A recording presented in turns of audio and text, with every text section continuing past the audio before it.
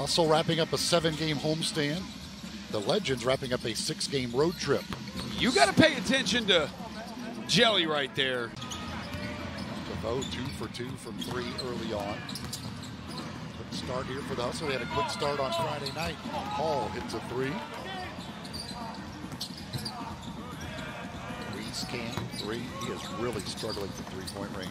Offensive rebound though. And Walker gets the short jumper on the left side. Miles for them. His Nothing- head on the court on Friday, and he's not playing. Yeah, nothing obviously certain, but I would.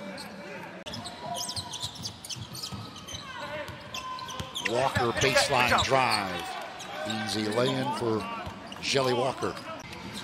They will have to leave no doubt, which means you have to win by double digits. And there is Brown inside to start the You- second this half. This is all your fault.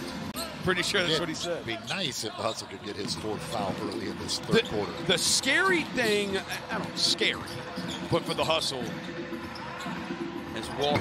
I mean, gosh, he can shoot the ball.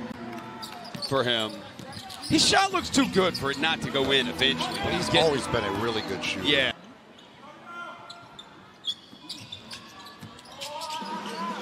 Quick three, got it. Both teams, as we expect, shooting it well from three-point range. Walker trying to answer, he does. Man, he is a good shooter. Walker down the lane. Wow, how did he not get a foul call on that? Backdoor cut, stolen away. Send it ahead for Walker. Walker going to the rim, foul and He's one. going to get it on that one. Rebound tipped out, picked up by Walker.